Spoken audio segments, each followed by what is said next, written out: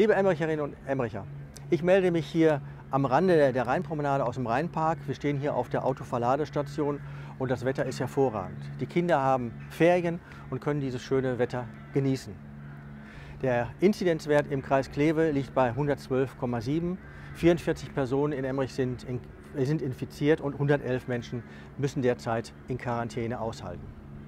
Die Maßnahmen für die Ostertage und für die kommenden Tage überhaupt sind über das Land und über den Kreis Kleve noch mal verschärft worden. Und auch wir in Emmerich werden über Ostern noch mal zusätzlich eine Allgemeinverfügung herausgeben. Das Tragen der Maske ist für Fahrradfahrer und Fußgänger an der Rheinpromenade und im Rheinpark Pflicht. Wir haben gesehen, dass sich dort, wo es schön ist, sich immer mehr Menschen ansammeln und sich nicht jeder an die allgemeine Regelung Abstand halten, Maske tragen, wenn es voll wird, sich nicht halten. Deswegen nochmal die zusätzliche Allgemeinverfügung. Das Wetter bleibt schön, das Wetter ist schön, allerdings Ostern wird anders verlaufen. Auch schon im letzten Jahr hatten wir keine Osterfeuer, keine Möglichkeit, große Familienbesuche zu machen oder für die Kinder ein großes Eiersuchen zu veranstalten. Auch das wird in diesem Jahr leider so sein wir werden noch weiterhin Geduld haben müssen.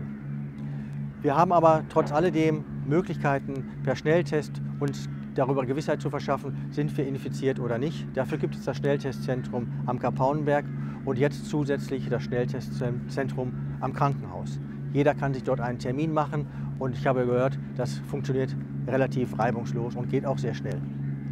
Ich wünsche Ihnen für die Ostertage, bleiben Sie gesund, halten Sie sich bitte an die Regeln, denn nur so können wir sicher sein, dass wir hoffentlich zum Jahresende hin zur zweiten Jahreshälfte die Situation insgesamt verbessert vorfinden. Alles Gute, schöne Tage.